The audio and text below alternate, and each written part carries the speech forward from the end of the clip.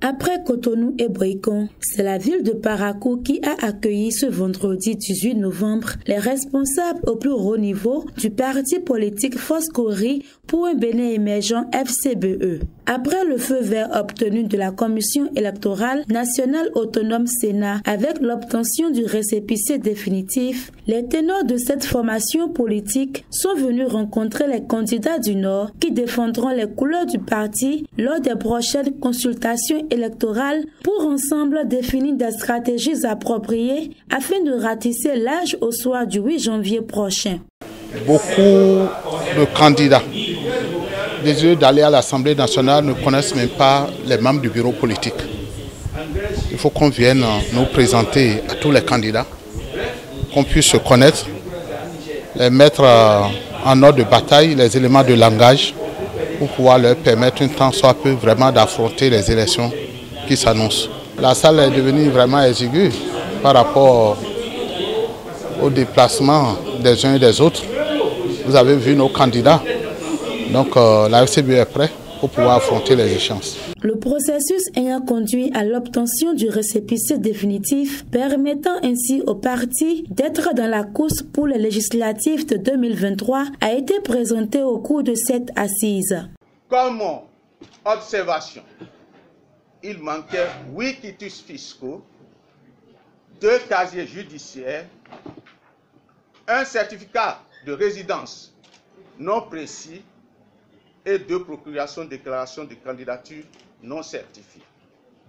Mais en 36 heures, nous avons pu apporter toutes les corrections et compléter les pièces manquantes, ce qui nous a mis dans les conditions de sérénité et d'expérience au moment où on attendait le récépissé définitif.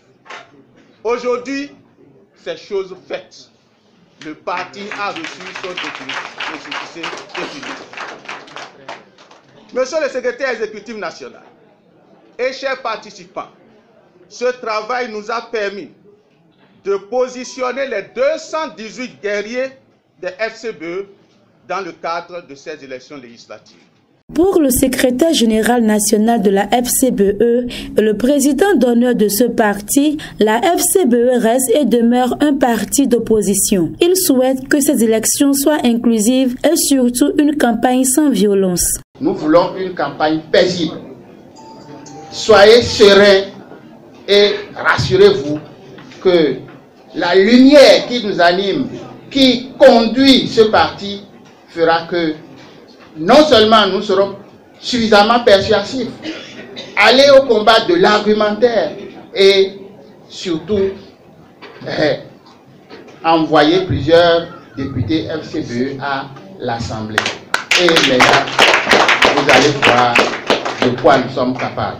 Nous sommes fiers de ces candidats et je les invite à se battre, à préparer nos populations, à préparer nos militants et leur donner l'envie de retourner aux urnes.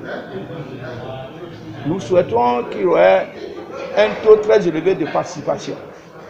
Nous souhaitons vivement que les populations nous feront confiance et voteront massivement la force Coli pour un Bénin émergent. Parce que c'est leur parti. Le bureau politique, à travers cette rencontre, vient de mettre en marche le rouleau compresseur de la victoire de la FCBE dans la partie septentrionale lors des consultations électorales du 8 janvier prochain.